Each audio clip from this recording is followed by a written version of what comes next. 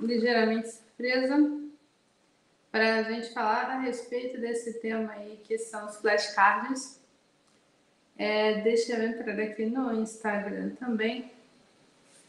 Vamos fazer um bate-papo e eu quero que vocês me digam aí o que, que vocês acham sobre esse tópico. Eu vou escrever aqui no Instagram também, como eu botei aqui. Você usa flashcards para estudar? Me conte. Oi, pessoal, tudo bem? Com... Conta para mim. Ok. Vamos prender esse comentário aqui. Pronto. Então, pessoal, é, essa live que eu estou trazendo aqui, ela é uma live, como vocês já devem saber, quando eu começo a fazer live, eu faço várias lives é, seguidas, assim, durante vários dias. E é isso que eu vou fazer também aqui nessa, nessa sequência. Dessa vez eu vou tentar fazer uma coisa diferente, eu vou tentar fazer lives em vários horários diferentes, porque muita gente uh, fala para mim que não pode ir num horário, não pode ir num outro horário. Então, eu vou fazer uh, agora, essa semana, na semana que vem, eu vou testar fazer lives de manhã também, tá? Tem dias que não vai dar para fazer, provavelmente, mas eu vou tentar aparecer o máximo possível aqui para vocês, então fiquem ligados aí. É mais ou menos nesse horário de 9 horas. Eu vou tentar entrar durante a manhã. É 9, 9 e meia, né? E aí, Milton, tudo bem? O Milton tá ligado na internet 24 horas, cara. Toda vez que eu entro aqui na live, o Milton tá aqui. Acho, acho impressionante. então, eu quero falar com vocês, gente, a respeito do uso do flashcard. Teve gente aqui que já falou que usa flashcard. Eu quero que vocês sejam específicos para mim. Como vocês usam flashcard? É, eu não sou uma pessoa que gosta muito de flashcard. É, isso eu tô sendo boazinha, né? Geralmente eu falo, odeio flashcard, odeio flashcard, mas é, é uma coisa que eu sei que muita gente usa.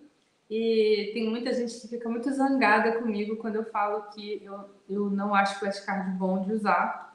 E aí eu quero abrir é, esse, essa discussão com todos vocês, porque eu quero entender exatamente como vocês usam os flashcards. É, para eu fazer um comentário em por que eu acho isso bom e por que eu acho isso ruim. Porque, na verdade, tem alguns jeitos que eu falo, ah, é ok usar flashcard, tudo bem. Mas algumas pessoas usam flashcard de um jeito que eu acho um pouco perigoso. E é, não acho que vai ajudar, pode até atrapalhar os estudos de vocês. Bom dia, Elisa, tudo bem? Milton perguntou aqui se ainda vamos ter a live de noite. Sim, ainda vamos ter a live de noite, sim. Vai ter live de noite, sim. Eu só tô fazendo um teste aqui com a live. Eu vou mandar a live pra galera, vamos avisar que eu não entro normalmente, né? Aqui nesse horário. Vamos avisar o povo que tá rolando live. Tá rolando live agora. Aqui, deixa eu avisar a galera. Live agora, pessoal. Enquanto isso, é, eu só quero comentar o seguinte.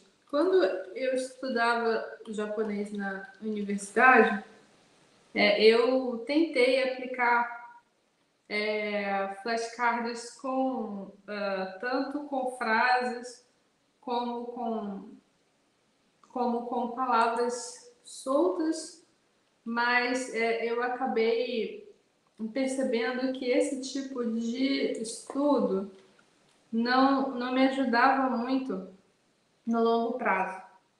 Então eu acabei deixando um pouco de lado essa questão do flashcard e justamente por isso também eu quero entender como vocês estão usando flashcard hoje em dia. Principalmente assim também. O Rian Kun aqui no Instagram comentou que ele usa com frases prontas. Então você faz como? Você pega, você coloca o você coloca a frase em japonês e a frase em português embaixo, é isso que você faz? em português e em japonês embaixo assim que você faz. É, eu acho que se você faz desse jeito, é, isso é para você lembrar o quê? É, Ian, me ajuda. Quando, quando a gente faz flashcard, é, eu acho que a gente tem um objetivo específico, né? Deixa eu puxar essa luz para mais perto de mim também. Vou aumentar. Minha cara tá muito escura aqui. É, eu acho que quando a gente faz. Fio, vem cá, fio. Pronto. Eu acho que quando a gente faz flashcard, a gente faz flashcard com um objetivo específico em mente. É, geralmente para decorar a palavra, né? Eu acho que a maioria das pessoas que usa flashcard usa flashcard para decorar palavra, né? É, mas no, no caso, você está fazendo com uma frase inteira. Uma frase inteira. Qual o seu objetivo com, essa, com, essa, com esse exercício de fazer flashcard com frase inteira? O Rian, Rian que comentou aqui.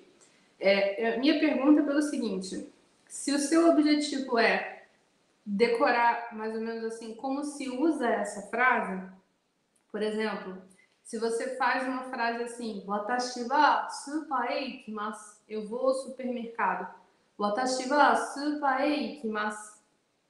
Eu vou ao supermercado. Se você faz assim uma uma frase assim, se você faz uma frase assim e você coloca a tradução, eu vou ao supermercado e você pensa assim, ah, eu vou colocar isso para eu lembrar como é que eu digo, como é que eu vou para algum lugar, né? Se você está com esse objetivo específico, é, eu acho que é um pouco perigoso porque você você praticar dessa forma, você não vai estar tá realmente montando a estrutura. Você vai estar tá simplesmente olhando para um exemplo, né? Você simplesmente vai estar olhando para um exemplo. Mas se você quiser fazer igual, se você quiser fazer uma frase similar, na verdade, para dizer, perdão, para dizer que você vai para algum lugar, você talvez não saiba fazer só porque você colocou, só porque você colocou o, digamos assim, a frase em japonês e português embaixo. Não é só porque você colocou isso que você vai conseguir lembrar depois como é que se monta. Porque para você conseguir montar frases, você precisa é, montar as suas próprias frases. Se você usa o flashcard, por exemplo, para você depois você, pega essa frase, né? É, Watashi wa. Aí você vê a frase, aí você tenta montar frases novas na sua cabeça.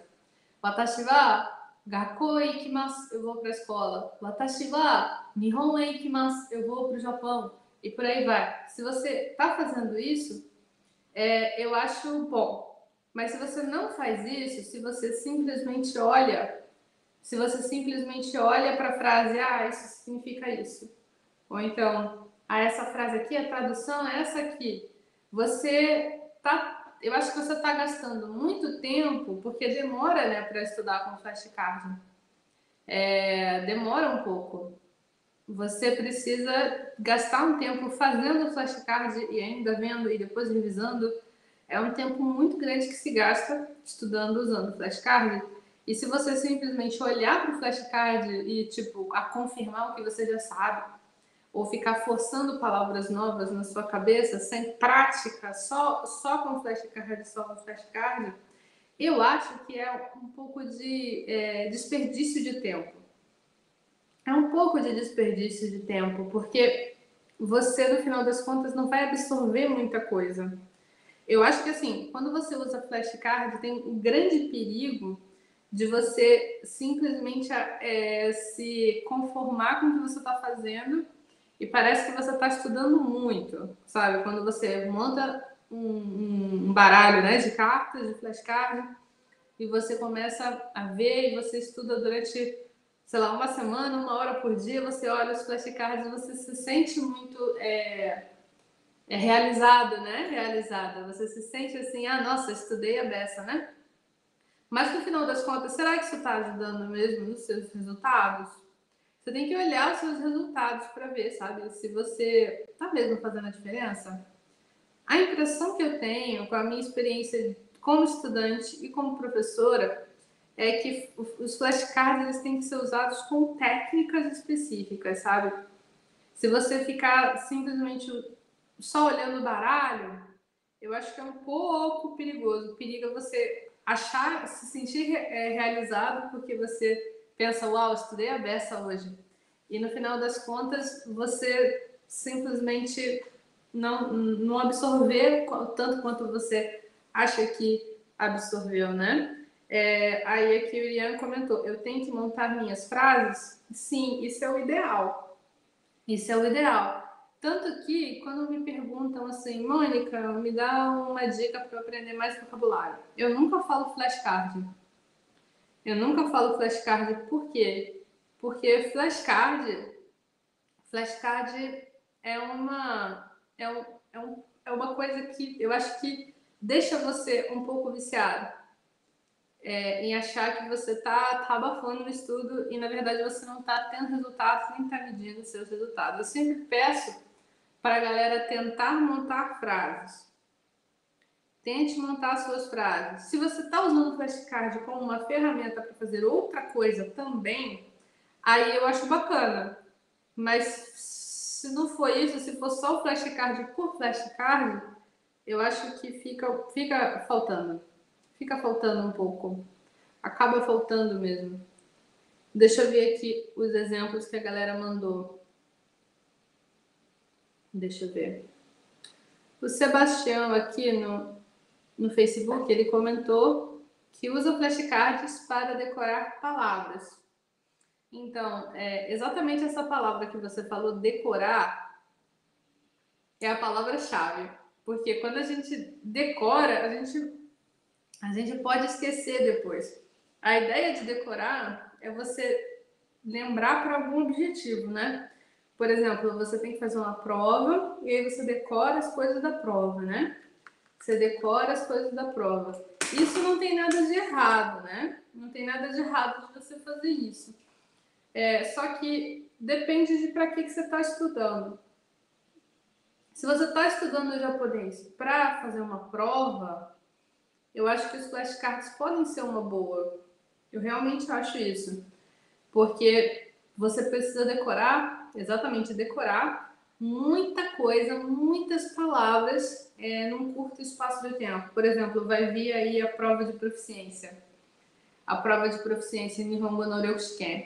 É, só para o N1, N5, eu tenho até um livro aqui para cá do meu lado. Só para o N5 você tem que saber mil palavras, né? Mil vocábulos. Isso é bastante coisa, né? Um livrinho assim. Então, se você vai fazer a prova e você precisa lembrar de muitas palavras, o que você tem que fazer justamente é, é tentar enfiar o máximo de palavras na sua cabeça possível para no dia da prova você saber você conseguir passar. Então, para isso, flashcard é muito bom para decorar a palavra, porque você está decorando realmente. Agora, depois que a prova passar, você vai sofrer é, um efeito amnésia, porque você vai esquecer tudo aquilo que você estudou. Tudo não, mas uma porcentagem grande vai fugir da sua cabeça, porque simplesmente você jogou um monte de informação aleatória na sua cabeça para você aprender para fazer a prova.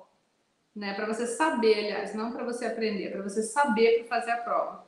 Você aprende de verdade quando você é, internaliza e utiliza essas palavras aos poucos ao longo do seu, é, da sua caminhada estudando japonês. Então, se você tem um objetivo que é passar numa prova, você tem que enfiar muito conhecimento na sua cabeça para passar. Mas passar na prova não significa que você vai lembrar tudo que você estudou para a prova. Eu acredito que todo mundo sabe disso no, no fundo da aula, sabe que isso é verdade.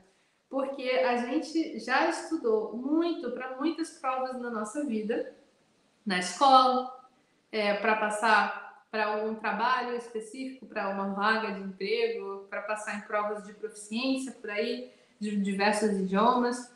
É, eu acredito que todo mundo já passou pela experiência de estudar que nem condenado, que nem uma condenada, fazer a prova, passa na prova e aí depois não lembra das coisas direito. Isso é uma coisa bastante curiosa. Por que, que isso acontece? Isso acontece porque realmente rola esse efeito quando você simplesmente joga essas informações na sua cabeça, muita informação, muita informação que você não usa, que você não vai usar, para ter um objetivo específico, que é fazer essa prova. Uma vez que você cumpre esse objetivo, é, o seu cérebro não tem mais utilidade, não tem mais serventia para essas palavras que você aprendeu. Vamos usar o exemplo do japonês, prova de proficiência e usar flashcard para decorar as palavras, né? Então, para vocês passarem na prova, para vocês fazerem a prova, aprender muita palavra em pouco tempo, eu recomendo flashcard sim. Porém, vocês têm que estudar sabendo que vocês estão fazendo esse investimento de tempo. Vocês estão fazendo esse investimento de tempo por causa por causa simplesmente da prova. É para a prova.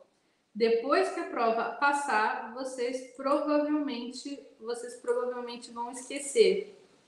Vocês provavelmente vão esquecer dessa, dessas palavras todas. Se vocês sabem disso, tudo bem. Mas vocês têm que estar cientes que isso acontece. Porque a coisa mais chata é, às vezes, a gente ter, assim, a, a gente ter, assim, a, a vontade de aprender japonês e quer estudar, quer aprender, quer estudar para aprender de verdade, não quer ficar esquecendo, né? E no final das contas, estuda, estuda, estuda e não consegue guardar vocabulário na cabeça, né? É, gente, deixa eu fazer um pedido para vocês. Quem está assistindo agora, se puder deixar um like aqui na live, tanto no YouTube como no, no Facebook, como no Instagram aqui, se puder mandar um coraçãozinho para mim, ajuda a essa live espalhar para outras pessoas. Quem puder mandar um coraçãozinho, eu agradeço, pessoal do YouTube, do Facebook também. Quem puder dar um like aqui na live, eu agradeço. E também, gente, é, para vocês que entraram agora, podem não, não ter ouvido o que eu falei no início. No início, eu falei para vocês é, que nós vamos ter uma nova oficina do Candi. Essa nova oficina do Candi vai ser dos dias 20, é, 18 a 22 de outubro, agora no final do mês, e vocês já podem se inscrever. O link está aqui na descrição das lives no YouTube e no Facebook, e aqui no Instagram o link está na bio para vocês se inscreverem ok? É, deixa eu ver aqui os comentários da galera. É, Fato do Japão fez um comentário interessante. Eu acho interessante fazer flashcards para decorar as aspas, ele colocou as aspas, para decorar gramáticas do N2 e N1. Normalmente aquelas gramáticas ruins de usar e aprender. Sabe o que eu acho? Eu acho que essas gramáticas do, gramáticas do N2 e do N1 não é flashcard que você tem que fazer. Eu acho que você tem que fazer é tabela de gramática. Sabe que eu já comecei a fazer uma tabela de gramática do N2 e do N1? Porque o problema do N2 e do N1 é que começa a vir umas gramáticas muito parecidas umas com as outras. Inclusive tem um livro muito bom de gramática. Será que eu vou pegar? Vou pegar. Tá ali na minha estante, já volto. Peraí. É um livro muito bom esse aqui, que é o. É o é Shin, é Shinkansen Masta Bunpo N1. Esse é do N1, né? Tem de todos os N's, né? Esse aqui, esse livro. É, tem tanta gramática parecida que é, eles colocam as gramáticas parecidas tudo no mesmo capítulo. Aí é interessante que você consegue comparar. Deixa eu pegar um exemplo aqui. Deixa eu ver um bom exemplo. Por exemplo, aqui no capítulo 9, tem aqui condição, joken. São é, estruturas gramaticais que falam de é, condição para algo acontecer, né? Aí tem é, uma, duas, tem cinco é, construções diferentes. É, toareba, tarakara, tarasaigo, darasaigo, yodewa, tem várias assim, né? E aí, eles colocam tudo no mesmo capítulo. Isso é interessante porque você pode comparar essas gramáticas umas com as outras. Mas eu não vejo como o flashcard possa facilitar. Parece um pouco complicado. Porque quando você entra nessas gramáticas, é, o problema disso é que tem coisas específicas que você tem que usar. Por exemplo, qual verbo você vai encaixar? qual, qual, qual forma do verbo, qual forma da palavra? Vai ser de choque, vai ser futsuke, vai ser o quê? Né? Você tem que saber o que você vai encaixar. É, e você tem que entender qual é a diferença de nuance, o que, que torna essa, essa, essa estrutura muito específica. O que, que torna essa estrutura muito específica? Qual é a diferença dela para outra estrutura? Você tem que ficar ligado nisso. E eu acho que isso é muita informação para colocar no flashcard, sabe? Eu não sei vocês, eu acho muita informação, de verdade. Eu acho que flashcard, no seu, no seu âmago, na sua. Na, na ideia, a ideia de você usar o flashcard é papum, sabe? É pá, pá, pá, pá, próximo. É para você brincar de roleta russa com o seu cérebro, né? É, o flashcard. E quando você coloca muita informação no flashcard, é a mesma coisa que você começar a ler um livro, sabe? É a mesma coisa que você começar a ler alguma coisa muito longa e aí perde, a, no, perde sentido do flashcard, né? Então, eu acho que para você usar, é, fazer estudos de gramática, o ideal é você ter tabelas. É uma página, imagina, uma página, gramática tal, significado. O que, que você tem que encaixar? Frase de exemplo, sabe? Uma coisa assim, imagina. É, as gramáticas mais parecidas, os pontos gramaticais, né, estruturas gramaticais mais parecidas, uma embaixo da outra, assim, para você ver. É, em japonês fala que é hitoboran, né? Quer dizer que você consegue ver de uma vez. Você bate o olho e você entende, como se fosse um gráfico, né? Então, se você tem uma coisa dessas, você já consegue é, verificar melhor, né? Você consegue ver melhor tá, a diferença dessa para essa, é isso aqui, pronto. E aí você tem as frases de exemplo para ver o negócio sendo aplicado. Eu comecei a fazer isso, eu tenho que continuar fazendo essa, essa tabela, porque vai ser muito útil para a humanidade depois que ela estiver pronta. Deixa eu ver mais comentários de vocês, gente. É, deixa eu ver. Heier falou que decorou várias palavras, Kosokudoro, é, que tem 1.200 cartas no Anki. Isso é muito legal.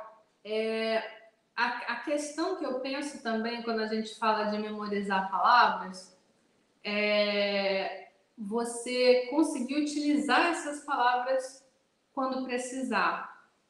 Eu acho que o Anki é bom para você realmente memorizar palavras, mas ele não te ajuda a usar essas palavras.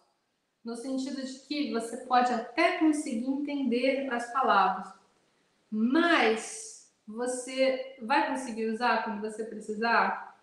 Nem todo mundo, porque tem algumas pessoas que são muito geniais. Tem algumas pessoas que são muito geniais. Eu tenho uns alunos que são assim, uxi, muito geniais. Você ensina a palavra uma vez e a pessoa já aprendeu para vida, assim.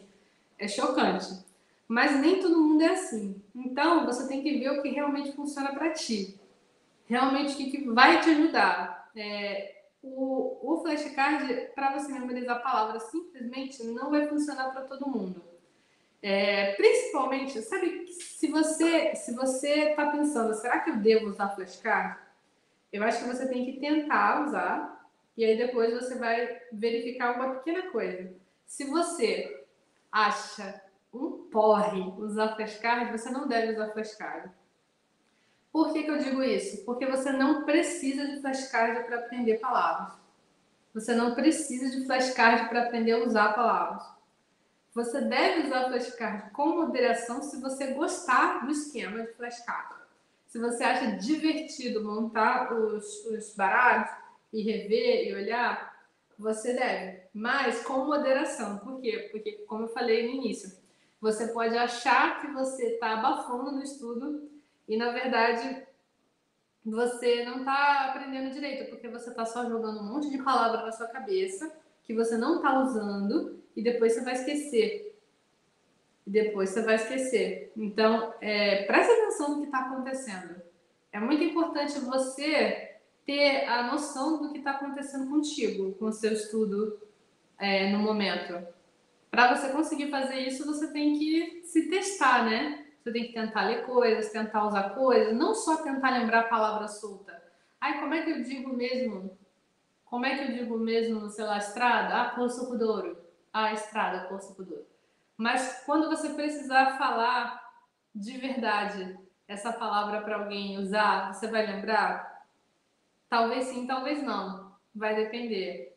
Mas é, você tem que se ligar se realmente está te ajudando isso ou se você está você está tirando do seu tempo que você deveria estar tá fazendo outras coisas, né? Deixa eu ver aqui. Comentários. Teve gente aqui que falou. O Kenny falou. Kenny Satoru falou. Então não devo usar. Eu não devo usar flashcards. Você não gosta, né? A Miriam comentou aqui no Instagram. Eu monto flashcard, mas nunca uso. Então é porque você provavelmente você não, não, vê, não tem interesse em ficar fazendo esse tipo de revisão. Mas tem que, ter, tem que ver uma coisa, Miriam. Às vezes você simplesmente está com preguiça de fazer qualquer atividade. Aí é foda. Aí você precisa notar o que está acontecendo, né? Deixa eu ver aqui. O Milton perguntou. Mônica Sensei, então, Mônica Sensei, qual seria a forma mais assertiva, assertiva de aprender. É, então, eu sempre acho que a melhor forma de você aprender vocabulário, aprender kanji, é você utilizar e escrever. É, as pessoas ficam doidas comigo porque eu fico falando que você precisa ter um caderno, você precisa ter um caderno, você precisa escrever. Japonês, língua japonesa, se você é um estudante de japonês, e você não tem um caderno, pelo amor de Deus, vai na papelaria agora e compra um caderno para você estudar japonês. Porque você não tem como estudar só por aplicativo, você não tem como estudar só vendo vídeo no YouTube. Você precisa de um caderno que você escreva. Você precisa escrever. Se você não está escrevendo, você está cometendo um grande erro. Você precisa escrever. Por quê? Porque a língua japonesa é uma língua muito diferente da nossa. Você precisa dar. Sabe qual é? Sabe quando eu vejo. Desculpa, eu vou fazer uma comparação. Quando eu vejo, quando eu vejo as pessoas estudando japonês sem ter um caderno, eu fico imaginando que você está querendo, você nunca nadou, você não é, você não é nadador profissional, mas tu quer encarar uma piscina olímpica e você vai nadar pela piscina olímpica com os braços amarrados, sabe? É isso, que, é isso que eu sinto quando eu vejo uma pessoa que quer fazer isso. É impossível? Cara, não é impossível você atravessar a piscina com os braços amarrados. A galera nada sem braço até, né? Você, você pode, mas se você nunca fez isso, para que você vai dificultar a sua vida? Tem necessidade de você dificultar a sua vida, você quer facilitar o seu estudo o máximo possível, certo? Se você quer facilitar o seu estudo, então você tem que fazer as coisas que vão te ajudar, não as coisas que vão te atrapalhar. Por isso, compra um caderno, o caderno é baratinho, lápis é baratinho, você não precisa comprar um, pincel boladão para escrever em japonês com a tinta boladona e o caderno quadriculado boladão de quadradinho, não precisa de nada disso. Você só precisa de um caderno lápis na borracha. Só isso. Se você tiver isso, se você começar a tentar escrever as suas próprias frases, faz um pequeno diário, escreve assim, uma palavra que aconteceu no seu dia. É, a Miriam acabou de escrever isso aqui, nossa, ó, eu e a Miriam, conexão total aqui. Ela escreveu aqui. Eu tentei praticar fazendo um diário, mas eu fico pensando se é o certo, já que não tem alguém que possa corrigir o que eu escrevi. Aí acaba que eu posso estar aprendendo errado. Então, você pode estar escrevendo coisas erradas, erradas. Aliás, é, é, é 100% de certeza que você está escrevendo coisa errada. É impossível que você esteja escrevendo tudo certo. Por quê? Porque você está aprendendo, né? E, e, errar faz parte do, do processo, né? Deixa eu tirar esse comentário aqui. Como você está aprendendo, errar faz parte do processo, Miriam. Então, quando você estiver fazendo o seu diário, você não pode ter medo de errar. Você tem que fazer o seu diário de boa, assim, faz o seu diário de boa, não tenha medo de errar. Por quê? Qual é o objetivo do diário? Você manter um diário em japonês. Quando eu falo diário, não é para você escrever tipo uma página inteira todo dia, assim, cheia de japonês. Isso é muito difícil, né, gente? Vamos combinar. Até quem, até quem é muito bom no japonês tem, tem dificuldade de sentar a bunda para escrever alguma coisa com, com, com uma caneta ou um lápis, assim, é uma dificuldade tremenda hoje em dia. A gente que agora está nos braços do, do, dos aparelhos digitais, né? A gente é muito preguiçoso, então é muito difícil. Não estou falando para vocês fazerem isso. Escreve uma frase, duas frases por dia, vai. É, você, antes de dormir, pega o seu diário e escreve duas coisas que você fez hoje em japonês. Hoje eu fui na casa dos meus pais. Kyo, Yoshin no ie ni ikimashita. Jika ni. Tanto faz. Escreve. Escreve. Com isso, você vai conseguir o quê? Você vai buscar se expressar em japonês. Você vai pensar. Se você já sabe como escreve o que você quer escrever, você vai praticar. Se você não sabe, você vai buscar aprender. E aí você vai praticar e vai conseguir aprender várias palavras, várias palavras. Você vai errar? Com certeza. Essa é, eu só tenho duas certezas na vida: que todo mundo vai morrer um dia e que você vai errar muita coisa quando você escrever seu diário em japonês. Mas não interessa. Não interessa que você vai errar. Tipo, foda-se. Por quê? Ninguém vai ver. É teu diário, sabe? E você vai estar tá praticando o vocabulário que você já sabe. Se você não sabe, você vai pesquisar o vocabulário para escrever uma frase que vá. Uma frase no fim de um mês, isso vai fazer uma grande diferença para você. Vai fazer uma diferença muito grande para você fazer isso. Eu convido vocês a fazerem isso. Aliás, é, eu tenho uma ideia. Eu tenho uma ideia aqui. Que tal se vocês começarem a fazer isso nos stories de vocês? É interessante fazer, na verdade, no seu caderno, porque eu quero que vocês escrevam, né? Você escreveu hiragana, você escreveu kanji, é, é bacana. Mas se vocês têm muita alergia a caderno, se vocês têm muita alergia a caderno, muita alergia a, a, a grafite, se vocês não querem comprar nada para escrever, vocês podem usar o que vocês têm à mão para serem criativos. Vocês podem pegar e começar a escrever as histórias de vocês. Desafio uma frase por dia. Qualquer coisa assim. E aí, se alguém vier falar para vocês, ah, isso está errado, na verdade é tal coisa. Vocês aprenderam, ganhar uma correção de graça. Não precisa ter medo de errar. Por quê? Porque o objetivo desse exercício não é você acertar tudo 100%. O objetivo desse exercício é mudar uh, o seu modo de pensar para você pensar em japonês, ajuda a fazer essa mudança e ajudar você a aprender vocabulário naturalmente. Então não tenha medo. Não tenha medo, não tenha medo. É, o Jonathan e o Shiasu até comentou aqui. Foi assim que eu aprendi o japonês. Eu todo dia escrevia palavras que escutava, depois buscava no dicionário ou no próprio Google Tradutor. Mas você criava as suas frases, Jonathan? Fala para mim. Deixa eu ver mais comentários aqui no YouTube e no Facebook. O diário é super interessante. Meu amigo que estudou na escola do Japão comentou comigo: minha sensei mandou eu ter um diário e escrever, pois assim aumentaria vocabulário e kanji. Total isso, porque se você faz isso, você bota para fora seu conhecimento. É, eu não sei, isso é, isso é linguajar de estudante de, é, de estudante de como é que é a palavra, meu Deus? De metodologia de ensino, né? É o input e output. Você tem que botar para dentro mas você tem que botar para fora também. Se você não botar para fora, você, você, tem que fazer um círculo, um círculo, um círculo.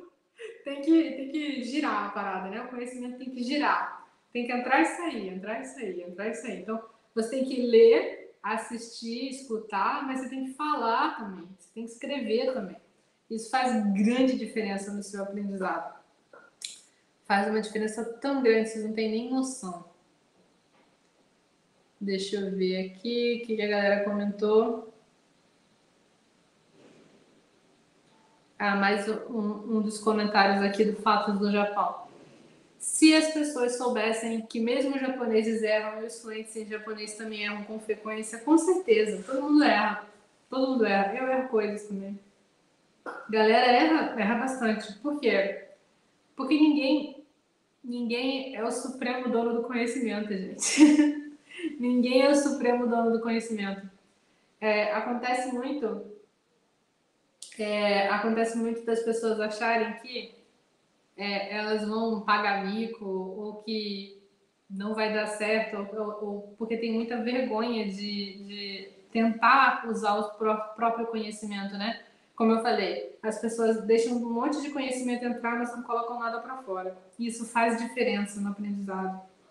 Isso faz muita diferença no aprendizado. Então, quando as pessoas deixam de usar o que elas sabem por medo de errar, você simplesmente está perdendo a oportunidade de aprender mais rápido e melhor e aprender muito mais coisa.